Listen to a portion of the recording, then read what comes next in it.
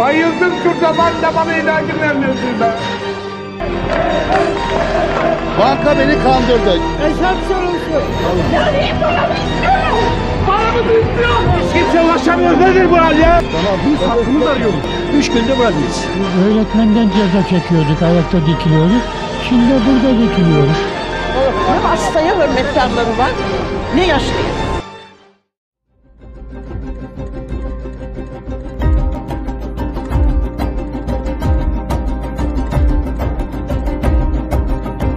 minutes. Five minutes.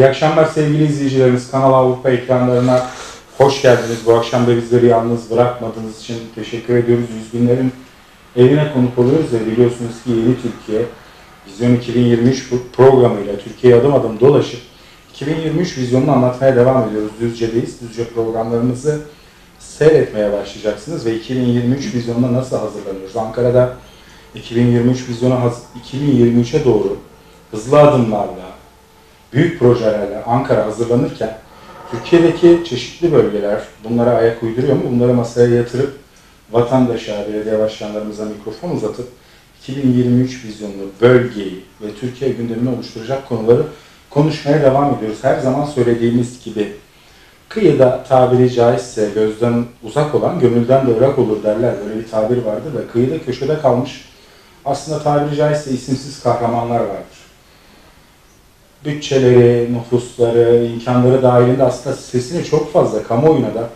duyuramamış yerler vardır ama bu devlete, bu millete, bu bayrağa, bu davaya yüreğini koymuş insanlar vardır. Bunları bulup tutup çıkarıp kamuoyunda gereken değerin verilmesini sağlamak bizler için de bir görev.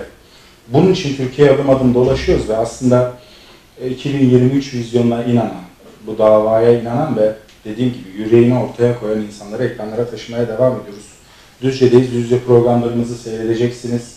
Vatandaşlara mikrofon ut- uzatacağız. 2023 vizyonunda değişim ve gelişimi, bunun Düzce'ye etkilerini konuşacağız. İlçelerden vatandaşlarımıza mikrofon uzatacağız. Sayın değerli belediye başkanlarımız konumuz olacak. Çilimli'deyiz. Çilimli Belediye Başkanımızla birazdan beraber olacağız. Muhsin Yavuz. Ee, dikkatle izlemenizi tavsiye ediyorum. Tabiri caizse küçük ama yüreği büyük insanların kenti diye tabir edeyim ben. Çilimli hakikaten devletine, milletine, bayrağına, davasına sahip çıkan, dik duran insanların yaşadığı yer Çilimli. Çilimli Belediye Başkanımızla beraber olacağız. Çilimli'nin tabii ki dününü, bugününü, yarınını konuşacağız ama gündem oluşturacak konuları da Sayın Başkan'la istişare edeceğiz. Hoş bir sohbet olacak. Sayın Başkan'a dönmeden önce arkadaşlarımızın Çilimli ile ilgili hazırladıkları bir VTR var. Lütfen o VTR'yi seyredelim. Daha sonra Sayın Başkan'a dönelim. Her şey memleketi için, her şey Türkiye için, her şey memleketi için, her şey Türkiye için.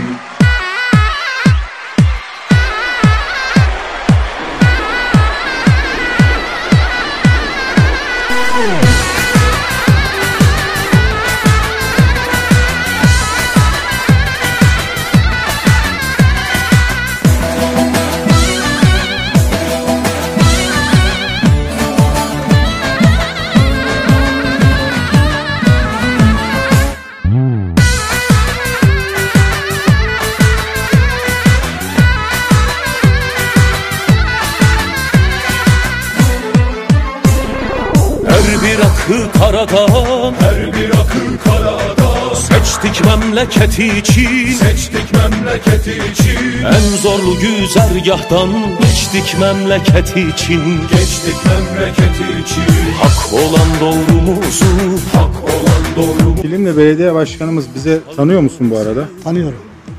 Peki ne dersin? İyi midir? Çok güzel. Dediğimizi ihtiyatmış. Açtık memleketi için, açtık memleketi için. Her şey memleketi için, her şey Türkiye için. Her şey memleketi için, her şey Türkiye için. Her şey memleketi için, her şey Türkiye için. Her şey memleketi için, her şey Türkiye için. Sayın Başkanım hoş geldiniz yayınımıza. Teşekkür ediyoruz öncelikle. Tüm izleyicilerimiz adına bu yoğun temponuzda nezaket gösterdiniz, yayınımıza konuk oldunuz. Nasılsınız diye başlayalım. Öncelikle çok teşekkür ederim bizi burada ağırladığınız için. İyi yayınlar diliyorum sizlere. Buradan tüm izleyicilerimize, tüm hemşerilerimize hayırlı akşamlar diliyorum. Teşekkür ederim Sayın Başkanım. Tabii çok yabancı değiliz. Kendimizi ev sahibi gibi hissediyoruz Çilimli'de. Çok e, sıcakkanlı ve gerçekten e, iyi insanların bulunduğu yerlerden birisi Çilimli. Ülkemizin dört bir yanı mutlaka ki çok güzel e, yerler, çok güzel insanlar ama Çilimli bize ayrı bir his veriyor. Kendimizi ev sahibi hissediyoruz. Ev sahibi gibi hissediyoruz. Bu konuda da teşekkür ediyorum. Hemen başlayalım Sayın Başkanım programımıza. Çilimli'de ikinci dönem belediye başkanlığınız. Daha önce de yayınımıza konuk olmuştunuz. Ee, nasıl gidiyor? Ee, asla kaldı ee, ikinci dönemin sonuna. Zamanında yapılırsa yaklaşık bir buçuk iki yıllık bir süreç var. Çalışmalar nasıl gidiyor başkanım? Valla biz çalışırken seçim dönemlerini unutuyoruz. Çünkü e, bizde e, siyaseten bizim düşüncemizde şu vardır öncelikle. Yarın seçim olacakmış gibi çalışmamıza devam ettik. Çünkü bize güvenen insanların, bize umut bağlayan insanların umudunu ve güvenini boşa çıkartmamak adına yani göreve geldiğimiz ilk günden bugüne 2009'da göreve geldik ve o günle bugün arasında zamanın nasıl geçtiğini anlayamadık bile. Çünkü seçim bittiği gün diğer seçim takviminin başladığı süreçtir aslında. Bunu e, iyi biliyoruz ve biz bu doğrultuda çalıştık. Yani seçim yaklaşıyor, onun telaşı veyahut da böyle bir paniğimiz veyahut da böyle bir sıkıntımız hiçbir zaman olmadı. Böyle bir tereddütümüz yok. Çünkü sürekli biz zaten hem kamuoyunda hem vatandaşımızda hem halkımızda istişare halinde, e, diyalog halinde, birliktelik halinde çalışmalarımızı da o şekilde yürütüyoruz. Yani Allah'ın izniyle bugüne kadar verdiğimiz sözlerin birçoğunu yerine getirdik. Bu süreçten sonra da yine seçim takvimine kadar yapılacak işlerimiz var. Onların da ya işte bazıları şu anda ihale aşamasında, bazıları e, ihaleye çıkacak ama söz verdiğimiz işleri Allah'ın izniyle sırasıyla hepsini yerine getireceğiz. Bundan yana yine hiç kimsenin şüphesi ve sıkıntısı olmasın. Ee, Çilimli'ye ilk geldiğinizde Sayın Başkanım e, hayal ettiğiniz Çilimli'nin yüzde kaçını gerçekleştirdiniz? Valla şöyle söyleyeyim yani biz tamamen o hayal ettiğimiz Çin'in daha temellerini attık ve bu süreçten sonra daha farklı projelerimiz var. İnşallah Allah nasip eder. 2019'dan sonra farklı bir e, uygulamaya geçeceğiz. Yeni projelerimiz var.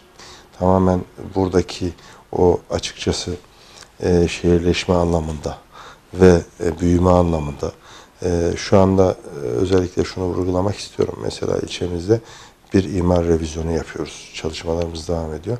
2018'in e, Temmuz ayında sonuçlandırmış olacağız. Yani tamamen ilçenin bütün imar planını elimize aldık ve e, gelecek vizyon adına planlamamızı tekrar yapıyoruz. O anlamda işte e, konut kentsel dönüşüm alanları, konut alanları, sanayi alanları, işte e, sosyal alanlar bunların planlamalarını yeniden yapıyoruz. Ve bunları inşallah e, o çalışmalar esnasında yine vatandaşlarımızla da zaman zaman bunları paylaşacağız. Çünkü bu tür e, uygulamaları yaparken bazen mağduriyet durumları olabiliyor. Biz göreve geldiğimizden bugüne e, buna benzer birçok şikayet aldık. Yani kağıt üzerinde bazı şeyleri yapmak çok kolaydır. Çok pratikte de çok bitirebilirsiniz ama asıl sahada ve bunu uygulayarak görmek daha gerçekçi ve daha doğru oluyor. Mesele nedir? İnsanı memnun etmek. Biz de ilk önce insanları memnun etmek, halkımızı, vatandaşımızı e, memnun etmek adına bu göreve talibiz zaten bu görevi yapıyoruz. Bu noktada yani e, her iki tarafta memnun olsun. Çünkü bu şehirde yaşayan insanları bu şehri yönetenler iyi anlaması lazım ve onları mutlu etmesi lazım. Biz de bu mantıkla, bu düşünceyle hareket ediyoruz. İnşallah bu zaten zaman içinde yine sizlerin aracılığıyla kamuoyumuza duyuracağız inşallah. Aslında burası nüfus olarak kaçtı Sayın Başkanım resmi nüfus olarak?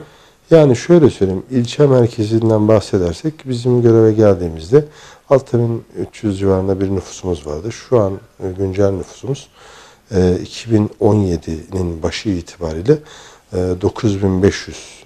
Ama bu yıl e, zannedersem 10.000 bandına ulaşacağız. Merkezden bahsediyorum. İlçenin genelindeki top- toplam nüfusumuz 20 bini şu anda geçti. Yani göç alıyoruz. Bu da zaten ilçenin e, niye göç aldı? Bir yerleşim merkezi niye göç alır? Bunun belirli sebepleri vardır. E, Türkiye'de biliyorsunuz e, birçok taşralarda, özellikle Anadolu'da birçok e, bizim ölçeğimizdeki yerleşim merkezlerinde hep şu yaşanır. Göç verme sıkıntısı yaşanır. Neden? Burada işte işsizliktir, e, farklı nedenleri vardır. Bunun birçok e, sebebi vardır. Sosyal ve ekonomik So- nedenlerden yani bu dengeler kurulamadığından e, e, bu e, sorunlar yaşanır. Ama Allah'ın izniyle bizde öyle bir şey bugüne kadar olmadı. İnşallah bundan sonra da e, o trendimizi artırarak devam ettireceğiz. Asıl amacımız bizim e, şuydu bizim özümüzdeki niyetimiz. Biz kendi yağıyla kavrulabilen bir ilçe konumuna gelmek. Bunu şu anlamda söylüyorum. Kendi gelirleriyle, kendi kaynaklarıyla, öz kaynaklarıyla e, bir şeyleri yapabilen, işte efendime söyleyeyim, o, o ekonomik dengeye sahip, o ekonomik güce sahip olan bir idare olmak istiyoruz. Bu noktada da inşallah hedefimiz şu, 20 bin ölçeğinde, merkezi 20 bin olan, e, nüfusu olan bir ilçe olmak istiyoruz. Bu da bizim için yeterli bir ölçek olacağını düşünüyoruz. Ha, bu hızlı bir süreçte devam ediyor. İnşallah bu süreci ne kadar zamanda göreceğiz diye e, benim tahminime göre 2030 yılına kadar bu, e, bu orana ulaşacağımıza tahmin ediyorum. Çünkü tüm planlamamız, bütün hesaplarımız bunun üzerine. Aslında burası bir anlamda sizin tabirinizle sohbet esnasında da sürekli dile getiriyorsunuz. Cazibe merkezi haline geliyor yavaş yavaş. Yani bir yaşam alanı, bir ticari alan, Evet. bir cazibe merkezi. Buranın tabii ki avantajları da çok fazla. Çünkü bir kavşak noktası. Evet, evet. Ankara'ya olan uzaklığı, İstanbul'a olan Evet, uzaklığı çok doğru. ve Bursa'ya, büyük şehirlere olan uzaklığıyla tam ortada. Kangren olmuş belli sorunlar var Düzce'de. Sohbet ederken de dışarıda vatandaşlarla e, göreve geldikten sonra önce bu sorunlara el attı başkan dedi. Önce bir birlik beraberlik sağlandı Evet. Çilimli'de. Evet. E, siyasetten ziyade hizmet nasıl yapılır? Bu anlayışla başkan yola çıktı diyor sokaktaki vatandaş ve o birlik beraberliği sağladınız mı başkanım Çilimli'de? Şöyle söyleyeyim ben özellikle bunu hep ifade ediyorum. Bizim ölçeğimizdeki yerleşim merkezlerinde daha doğrusu yani yani biz açıkçası bir taşra e, yerleşkesi sayılırız. Bizim büyümeye ihtiyacı olan ve gelişmeye ihtiyacı olan bir açıkçası bir biz bölgeyiz. Bizim bu dar alanda çünkü insanlar böyle, dar alanda birbirlerini hep tanırlar. E, efendime söyleyeyim dostlukları vardır, arkadaşlıkları vardır, komşulukları vardır, akrabalığı vardır. Yani birçok bağlantıları vardır. Ama burada önemli olan şudur. Biz şunu niçin söylüyorum özellikle siyaset yapma hakkına sahip değiliz. Çünkü biz birlikte olmakla mükellefiz. Birlikte olup yaşadığımız yeri daha iyi nasıl geliştirebiliriz? Daha güzel şeyleri nasıl getirebiliriz? Eğer biz burada ideolojik ve siyasi bakarsak o bölgeye ihanet etmiş oluruz. Çünkü neticede e, bu bölgede yaşıyorsak, bu e, yerleşkede, bu beldede yaşıyorsak bizim hepimizin hep birlikte olup efendime söyleyeyim siyaset bir yarıştır. Seçimler bir yarıştır. Ama o yarış bittikten sonra insanların tek yumruk olup ondan sonra ilçemizi, bölgemizi, yaşadığımız şehri nasıl kalkındırırız? Daha güzel şehir nasıl yaparız? Mantığıyla yani hem e, oradaki yerel yönetimle bu halk olarak bu desteği vermesi lazım. Yerel yönetimler de onlarla birlikte bunu paylaşması lazım. Biz bunu e, başarıyoruz ve bundan sonra da devam ettireceğiz. Yani sürekli üstüne koyarak gidiyoruz. Çünkü doğru tektir. Bu gerçeği hiç kimse değiştiremez. Biz çünkü belirli bir seviyede olan, efendime söyleyeyim, büyük şehrin bir ilçesi değiliz. Veyahut da 50 bin nüfuslu, 100 bin nüfuslu veyahut da yani 30 bin nüfuslu e, bir yerleşkede değiliz. Biz ne olduğumuzu biliyoruz. O ölçümüzü, kendi değerimizi ve kendi yerimizde bildiğimiz için biz daha iyisini olmak için bir kere bu sosyal diyalog ağını iyi kurmamız lazım. O e, atmosferi iyi oluşturmak lazım. Biz onu sağlamaya çalışıyoruz. Hem e, çalışma arkadaşlarımızla hem e, meclis üyesi arkadaşlarımızla, işte bizim teşkilattaki arkadaşlarımızla sürekli istişare halindeyiz. Ve bugüne kadar Allah'a çok şükür e, iyi gidiyoruz. Belki ben biraz tez canlıyımdır. Yani şöyle söyleyeyim, e, hayal etmeyi çok severim ve e, küçük olmamız aslında bizim büyük düşünmemizi engellemez. Biz küçük olduğumuzu biliyoruz fakat ama büyük düşünüyoruz ve e, birçok şeye talip oluruz. Yani örnek vereyim, şöyle bir konu anlatayım size. E, biz eğitimle ilgili bir proje yaptık. İnşallah proje çalışmamız hala devam ediyor. İşte e, proje ortaklarımızı söyleyeyim. Yıldız Teknik Üniversitesi var. E, Düzce Üniversitesi var. E, işte sivil toplum örgütlerinden işte Önder var. E, bizim koordinatörlüğümüzde. Aynı zamanda projemizin mimari kısmını ve bu işte tecrübesi olan Japonya'da e, 10 yıllık bir birikimi olan bir ekiple görüştük. Onlar ülkemize geldiler. E, ilçemizi ziyaret ettiler. Yapacağımız projeyi ve yapacağımız alanda gezdiler. Ve bununla istişare ettik. Ve bu proje güzel bir proje. Sayın Bakanımız bizim çok mütevazı bir insandır. Faruk Bey'den bahsedelim. Faruk Özden Sayın. O e, dedi ki ya Muhsin'cim bu proje çok güzel ama niye Çilim dedi. Yani dedim ki ya niye Çilimli olmasın dedim. Biz bu projeyi Çilimli'ye hitaben yapmıyoruz sadece. Bölgeye hitaben yapıyoruz. Az önce siz de ifade ettiniz. Çilimli bugün Bursa'dan tutun. Efendime söyleyeyim İstanbul, Ankara, Efe- birçok Eskişehir'inden işte Bolu'su, Kastamonu'su, e, Zonguldak daha doğrusu e, 36 milyon nüfusun gün içinde ulaşıp gidebileceği bir yani gün aynı gün içinde e, gelip dönebileceği bir mesafedeyiz, yakınlıktayız. Çok ortada bir yerdeyiz Düzce ili olarak. Tabii Çilim'de tam tabii Çilim'de tam bunların ortasında ben diyorum ki Ankara ile İstanbul'un ortasında e, Düzce var. Onların da ortasında Çilimli var diyorum. Benim söylediğim bu söylemi hep söylüyorum. Ankara'da da veyahut da farklı gittiğim ortamlarda da bunu ifade ediyorum. Şimdi e, şöyle söyleyeyim. Büyük bir proje. Nedir? E, ben inanıyorum çalışma ekibimiz de e, yaklaşık 4 yıldır bu proje üzerine çalışıyorlar. Projenin içi çok dolu bir proje. Şimdi altyapısını hazırlıyoruz. İnşallah e, Aralık ayında e, yine Sayın Bakanımızın öncülüğünde bir sunum yapacağız. Biz bu projeyi de bu ülkeye kazandırdığımız takdirde çok güzel şeyler olacağını düşünüyorum. Hem eğitime de ciddi anlamda katkı sunacağımızı düşünüyorum. E, bu noktada e, hatta sivil toplum örgütlerinden katılan arkadaşlar dedi ki ya çok güzel bir düşünce. Siz e, bu düşünce e, gerçekten hep şu algımız şu. Ya küçük bir ilçeden küçük bir ilçe böyle bir düşünceyi nasıl ortaya koyabilir? Böyle nasıl düşünebilir? Aslında hatamız orada. Yani e, insanların e, küçük bir merkezde yaşaması, küçük bir merkezde idarecilik yapması o insanların büyük projeleri düşünmesi, hayal etmesinin e, kısıtlayamaz. Biz e, aslında e, sorgularken, e, araştırırken e, bütün değerleri göz önünde bulundurup e, yani bütün kitlelerle, farklı işte metropolde yaşayanlarla, büyük şehirlerde yaşayanlarla, taşrada yaşayanlarla araştırma yaparken, PR yaparken sorgulamayı ona göre yapmamız lazım. Çünkü çok farklı fikirler, çok farklı değerler ortaya çıkıyor. Hak- Hakikaten e, inşallah e, şimdi buradan duyurmak istemiyorum. M, Bizde de şöyle bir anlayış var. Projeyi e, duyurmak isterim. Bitmeden, kesinleşmeden kamuoyuyla paylaşmak istemiyorum. Evet. Çünkü onun e, huzursuzluğu olur bizde. Ama inşallah ben biteceğine, biteceğine ve sonuçlanacağına, olumlu şekilde sonuçlanacağına ve bu işi başaracağımıza inanıyorum. E, ve siz de o zaman e, gerçekten e, e, gıpta edeceksiniz ve çok beğeneceksiniz. Güzel bir şey olacak inşallah. Sayın Başkanım, biraz önce söylediğiniz şey çok önemliydi.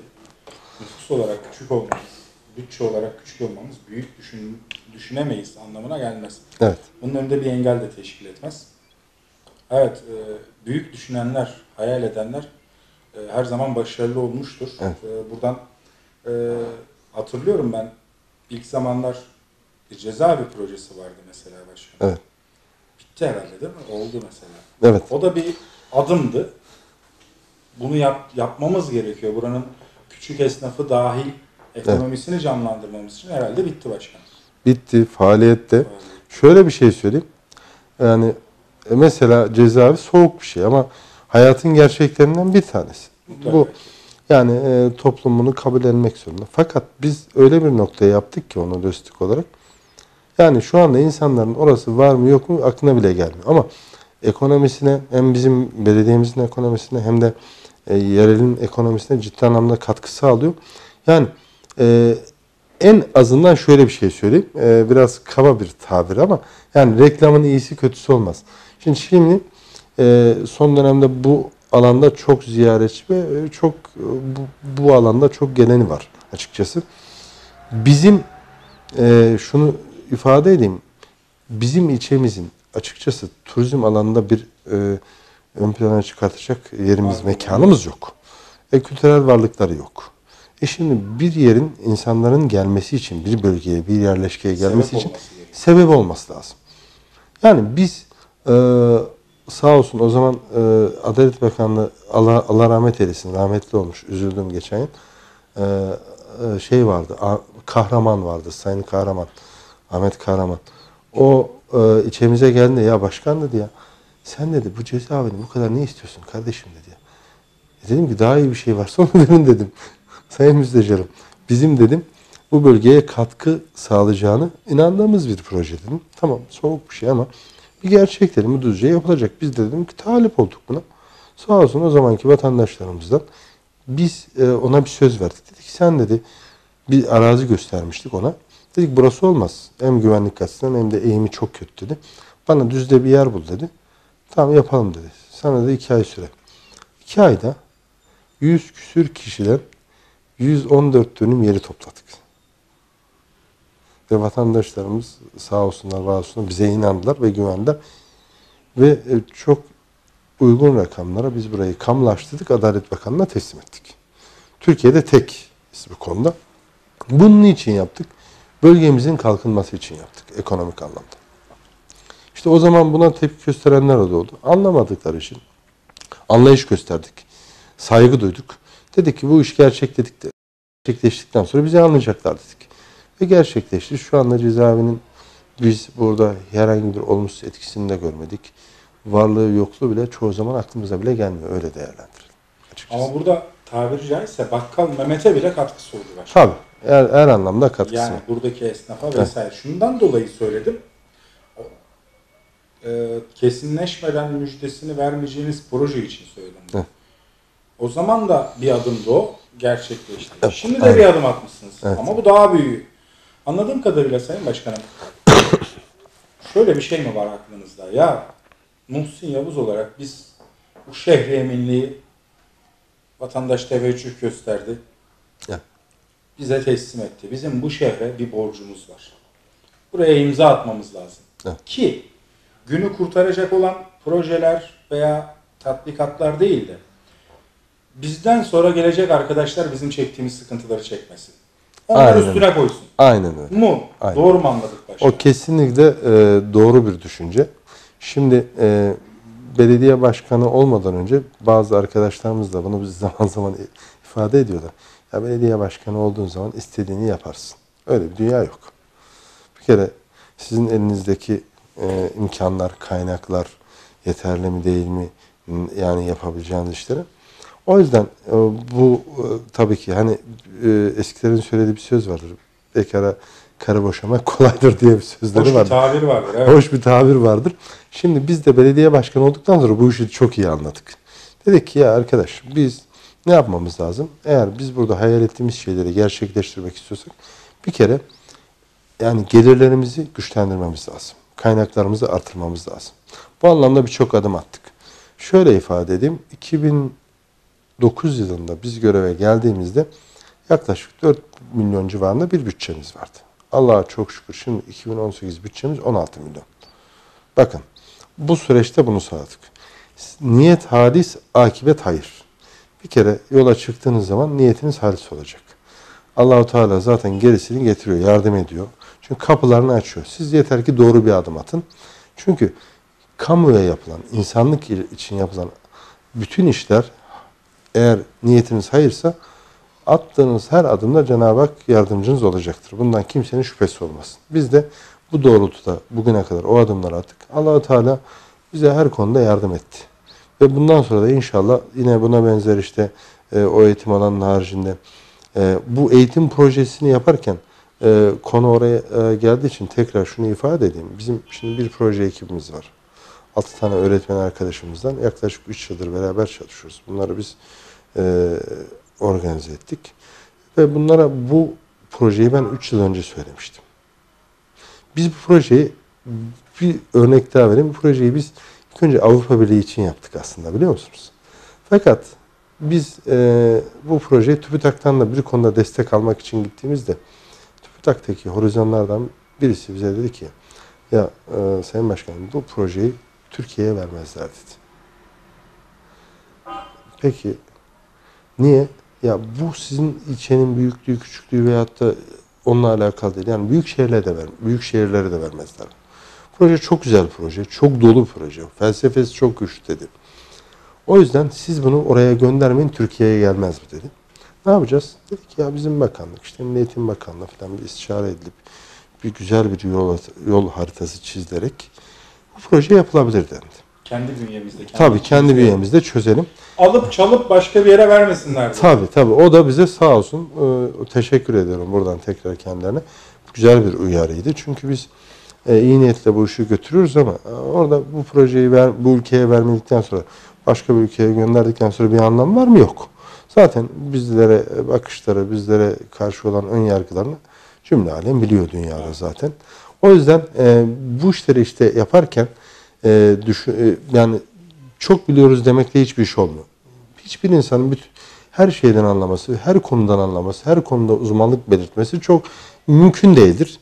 E, biz her alanın uzmanıyla görüşerek, her alanın bu işi en iyi yapanlarını bularak bir şeyleri ortaya koymaya çalıştık bugüne kadar. Bu doğrultuda yine çalışmalarımızı devam ettiriyoruz inşallah. Anladığım kadarıyla başkanım ilçenin kaderini değiştirecek projelerden bir tanesi. Evet, kesinlikle. Burada hemşerilerimiz de bizi dinliyor. Ee, hani biraz önce söylemiştim ya. Bizden sonra bu bir bayrak yarışı tabii ki. Zamanı gelecek. O bayrağı diğer Evet, başka evet, arkadaşlar kesinlikle. teslim alacak. Kesinlikle. Bizden sonra gelecek olan arkadaşlar bizim uğraştığımız sorunlarla uğraşmasın. Aynen, binası, aynen. Altyapı, kanalizasyon, işte belediye hizmet binası, kongre salonu, nikah. Evet. Millet düğününü nerede yapacak, hizmeti nerede alacak, işte park, yeşil alan çalışması, park çalışması, yol çalışması. Bunlarla uğraşmasın. Evet. Gelirleri bir düzenleyelim, bir Evet. kurumsallaşalım, Evet. bir kurum kimliği kazanalım, gelir gider dengemizi bir düzenleyelim, Evet. kimseye muhtaç olmayalım, tabiri caizse, Evet. el açmayalım, Evet. şöyle yan gözle bakmayalım, ya biz bunu niye yapamıyoruz? Kaderini değiştirecek projeleri hazırlayalım, Evet. ömür vefa ederse, millet teveccüh ederse gerçekleştirelim. Evet. Bizden sonra gelecek olan arkadaşlar üstüne koysunlar. Evet. Doğru mu başkanım? Aynen çok doğru Müthiş katılıyorum. tabii ki. Ee, size şu konuda e, büyük teveccüh gösteriyor dışarıdaki insanlar. Türkiye'nin küçük bir örneği farz edelim şimdi. Cumhurbaşkanımız da yola çıkarken dudak bükmüşlerdi bazıları. Evet. İşte 99 dönemini Evet. vatandaşlarımız çok iyi hatırlıyorlar. IMF'den gelen yardım paraları olmasaydı memur ve işçi maaşlarını ödeyemezdik. O Dep- haldeydi. deprem yardımları olmasaydı. Deprem yardımları. Dönemin Çalışma Bakanı Recep Önal kendi deyimiyle e, basına verdiği demeçte gelen yardım paralarıyla bu ay memur ve işçi maaşlarını dedi. Ümitsiz bir toplum, ümitsiz bir hükümet, ondan daha ümitsiz bir bürokrasi. Ama şimdi bakıyorsunuz Türkiye'ye. E, yedi düvelle tabiri ca- caizse savaşıyor, cenk ediyor. Evet. Ama 2023 projelerinden, Avrasya Tüneli'nden, 3. Boğaz Köprüsü'nden, Kanal İstanbul'dan, Marmaray'dan, hızlı trenden, otobandan taviz vermeden gerçekleşti bunlar. Çilimli'de bir yola girmiş başkanım. Hayaller büyük. Evet. Ama o hayalleri gerçekleştirecek kapasite de var Çilimli'de. Onu anladım başkanım. Evet, teşekkür ederim. Allah razı olsun düşüncelerinizden dolayı. Şimdi özellikle şunu ifade edeyim. Düzce adına bunu söylüyorum. Düzce tarihine bir fırsat yakaladı. Özellikle bir bakanımız oldu yıllar sonra. Evet, Bilim, sanayi Evet. ve teknoloji Bakanı Bizim ilçe, bizim abimiz, hemşerimiz, medeni iftarımız, ilçemizin yetiştirdiği çok güzel değerlerden bir tanesi. Kendisine yine çok teşekkür ediyorum. Ee, bakanlık e, görevine başladığı günden bu yana da bölgemize, düzcemize birçok hizmet kazandırdı. Yani Teknoparkı'ndan tutun, şu anda Düzce'nin çevre yolu bizim ilçemizden beri geçecek. Onlar 2018 yatırımına giriyor.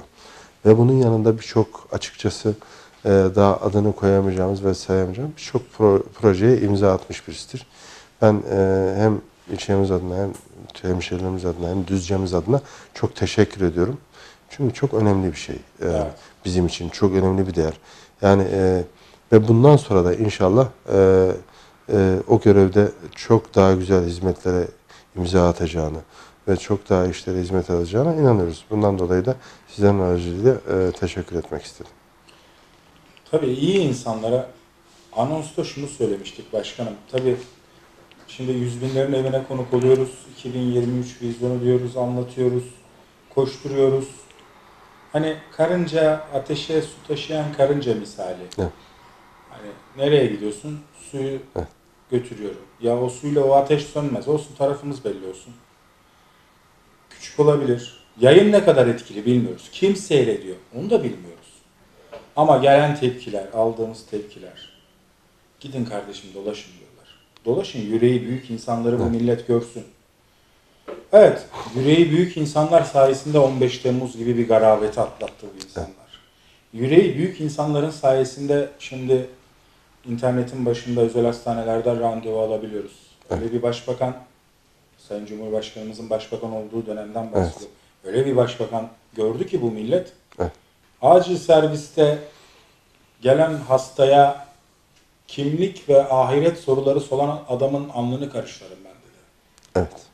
Öyle bir başbakan gördü ki ilaç firmalarının peşkeş çektiği bir pazar halinden kafamı bozmayın BİM'de sattırırım bu ilaçları dedi. Evet. Doğru. Doğru. Çünkü millet kese kağıdı küllahla ilaç taneyle alıyordu. Evet. Ölüyordu hastane sıralarında. Öyle bir başbakan, cumhurbaşkanı görüyor ki şimdi, öyle bir cumhurbaşkanı görüyor ki şimdi millet bana ulaşsın diyor. Ben kenara çekilmedim diyor. Evet. Bu yaşıma rağmen, bu tempoma rağmen hala milletin derdiyle dertleniyor. Hala geziyor, hala dolaşıyor. İşte belediye başkanları bunların ufak birer e, temsilcisi, şehre emin, belediye reisi. Biz dışarıda sohbet ederken vatandaşlarla en etkilendiğimiz konulardan bir tanesi de başkan gülerek karşılıyor dedi herkesi. Gülüyor. Başkan yorulmuyor mudur? Mutlaka yoruluyordur. Morali bozuk olduğu zamanlar yok mudur? Vardır mutlaka ki ki o da insan. Evet.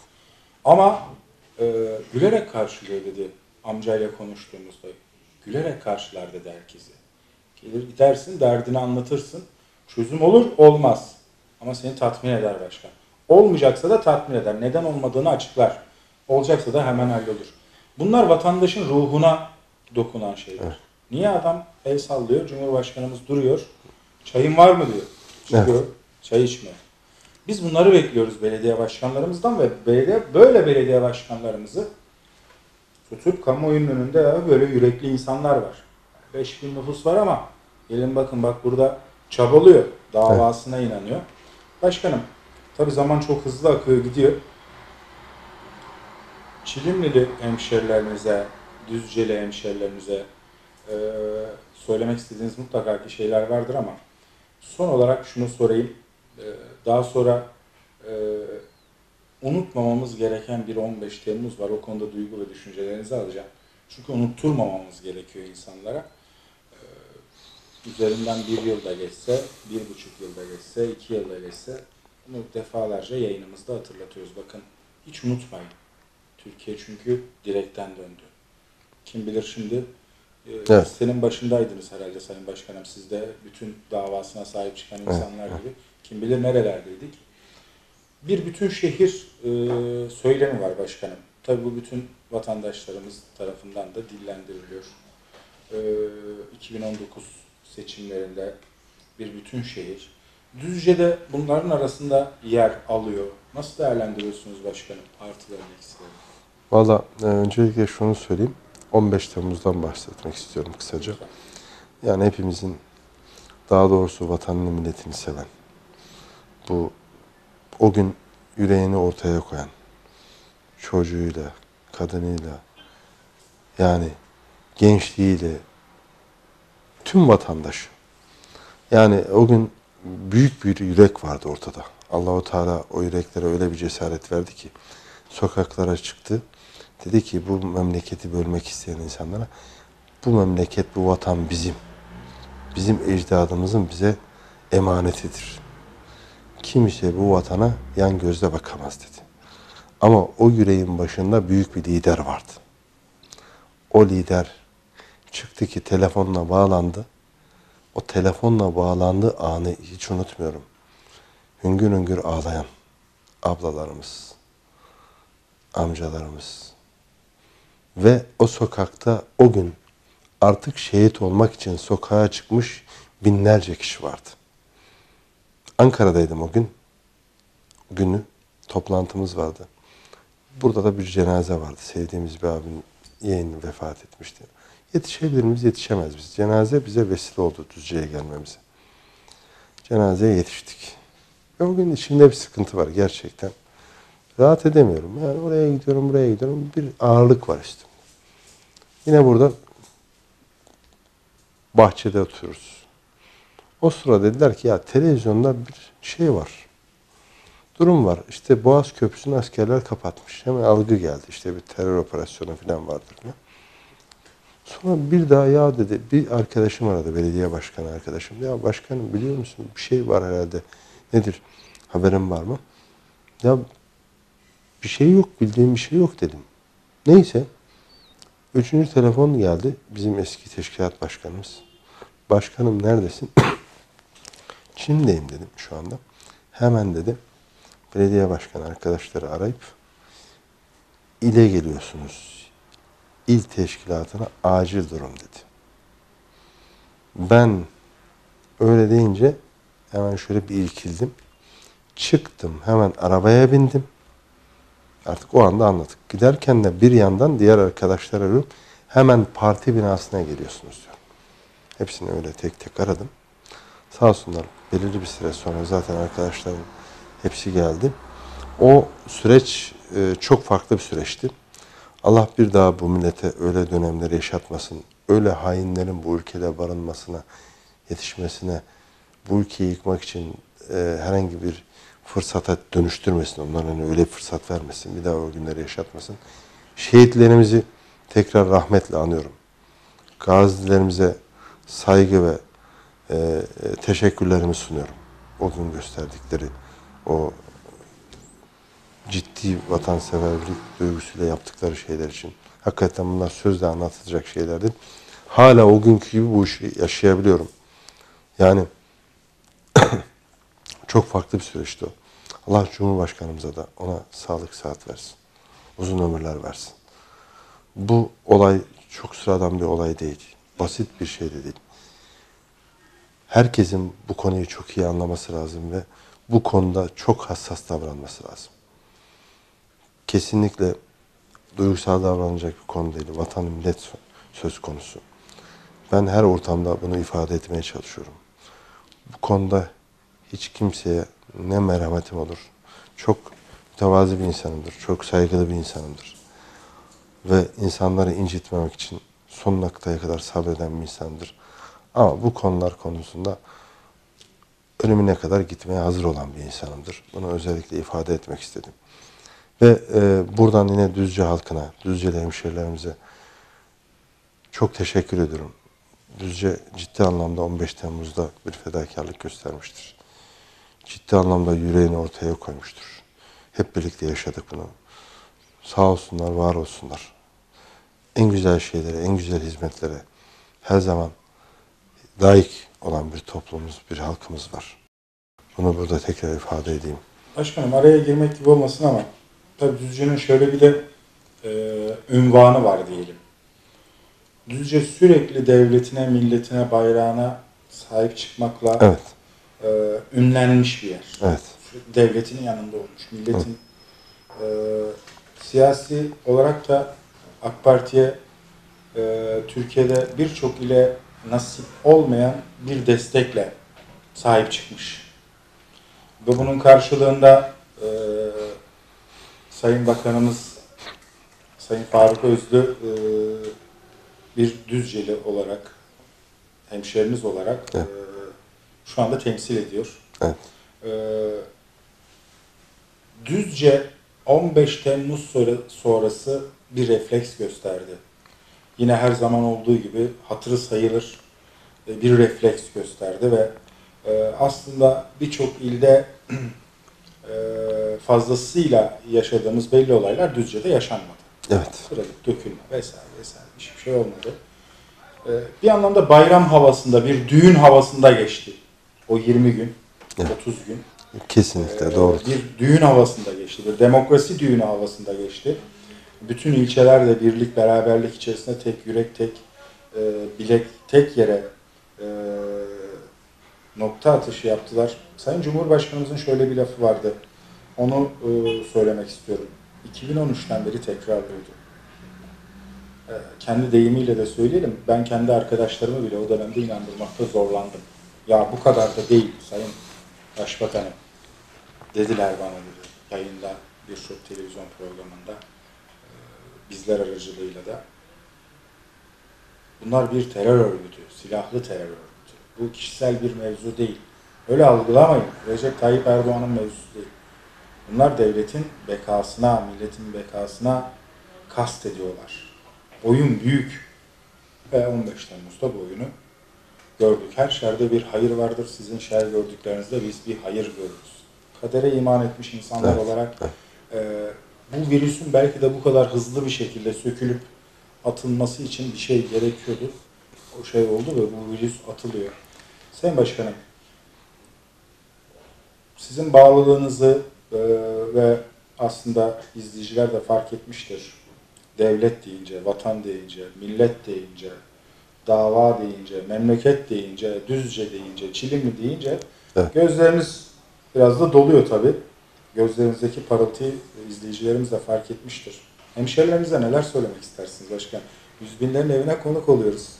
Ee, kapısını çalmadan her televizyonunda e, açan insanların evindeyiz şu anda. Neler söylersiniz? Evet, süreyi biraz açtık herhalde. Evet. Öyle, öyle görünüyor. Tabii ki e, şöyle söyleyeyim. Öncelikle kısa bir not olarak bunu belirteyim.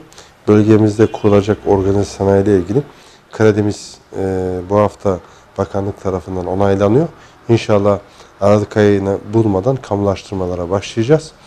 Düzce, e, Çilimli halkının uzun zamandır beklediği, Düzce halkının da yeni yatırımların beklediği, yeni iş sahalarının oluşmasını beklediği bir alandı bu. E, tamam. İnşallah bir, bu müjde, bir müjde vermiş olduk. bir müjde vermiş olduk. Çilimli organize Çilimli organize sanayisi. sanayi bölgesi. İnşallah kredimiz çıkıyor ve kamulaştırmalara başlayıp 2019'da da burada ortaya meyvesi çıkan bir organize sanayi görmeye başlayacağız.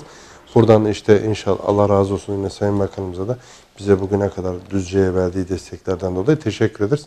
Düzceli halkımıza e, bugüne kadar bize verdikleri desteklerden dolayı, e, bizlere verdikleri değerden dolayı özellikle çok teşekkür ediyorum.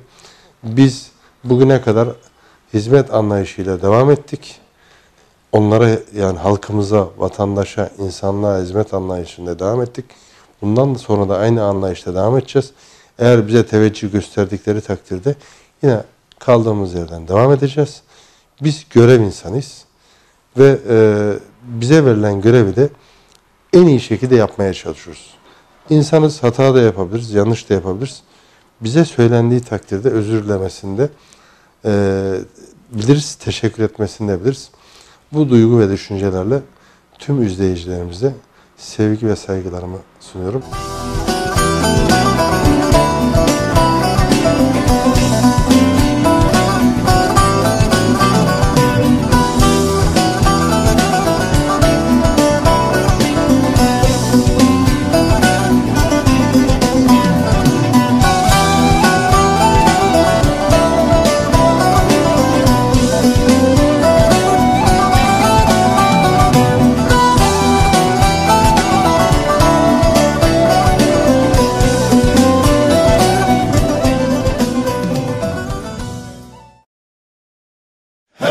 Memleketi için, her şey Türkiye için, her şey memleketi için, her şey Türkiye için.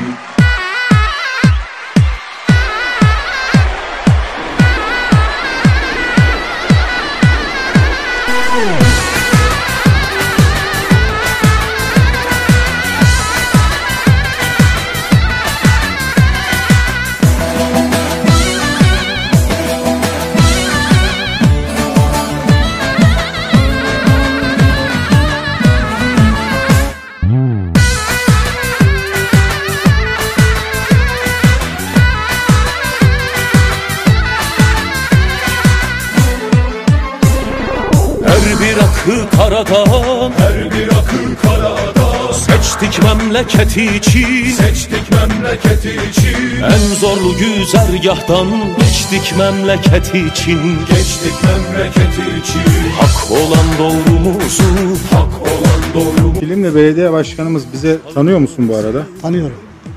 Peki ne dersin? İyi midir? Çok güzel. Dediğimizi etmiş. Açtık memleketi için, açtık memleketi için. Her şey memleketi için, her şey Türkiye için. Her şey memleketi için, her şey Türkiye için. Her şey memleketi için, her şey Türkiye için. Her şey memleketi için, her şey Türkiye için.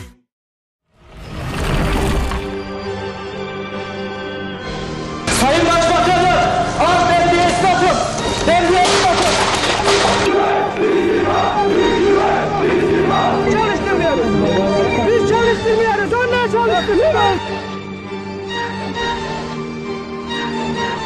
Bayıldım şurada ben de bana ilacı vermiyorsun be.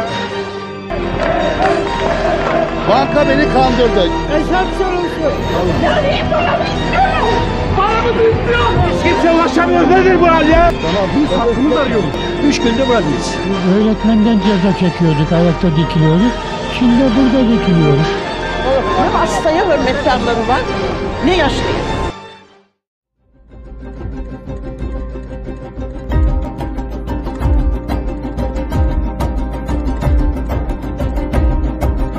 One minute. One minute.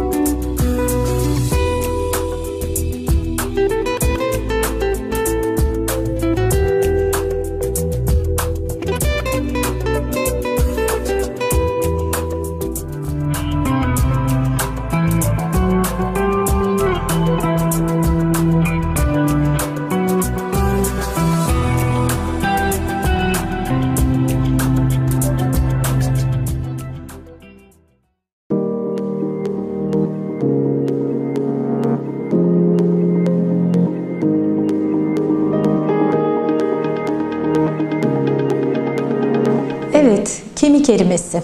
Hepimizin büyük sorunu. Hastalarımızın ben de kemik erimesi mi var diye kapımızı çaldığı bir problem.